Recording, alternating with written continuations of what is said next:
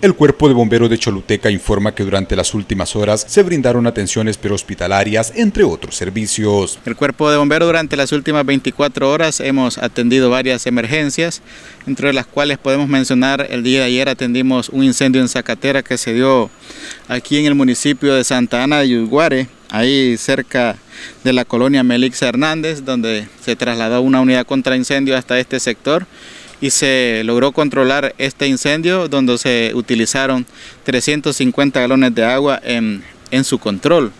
También atendimos lo que fue un accidente tipo colisión que se registró el día de ayer aquí en el Boulevard Mauricio Oliva, exactamente ahí en la entrada hacia el barrio Suyapa, entre, entre, una, entre motocicleta y un, y un vehículo donde salió lesionada una persona del sexo masculino de 60 años de edad.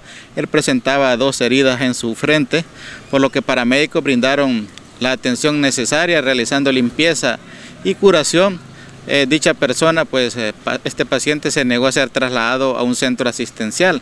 Asimismo, en el lugar pues se encontraba personal del 911, quienes brindaron la atención también prehospitalaria a una persona del sexo femenino.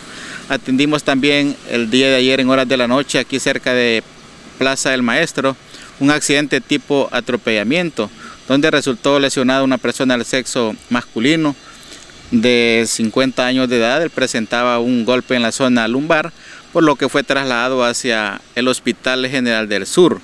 También el día de ayer eh, atendimos lo que fue el corte de un árbol aquí en, en Colonia Las Acacias, a cercanías del Kinder Juan Benito Guevara, donde se trasladó una unidad hasta este sector y se logró cortar un árbol de jocote que amenazaba con caer sobre un muro perimetral de, este sector.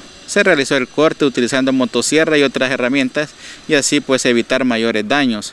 También el cuerpo bombero continúa realizando lo que es la inspección en las eh, unidades de transporte en la Gran Terpa, pues el día de ayer se revisaron ocho buses grandes y dos microbuses con el fin de que estas eh, unidades estén en óptimas condiciones y le presten un buen servicio a la ciudadanía en esta temporada de Semana Santa. Los bomberos permanecen a la expectativa de cualquier emergencia que pueda ocurrir en las próximas horas. Para Metro TV Noticias y la 107.5 Radio Ilusión, Francis Hernández.